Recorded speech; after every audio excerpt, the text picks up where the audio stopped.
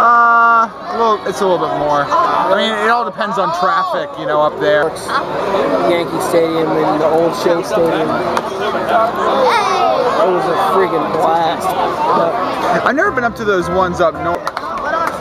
do they Yeah. have any plans to build a new place for the Redskins?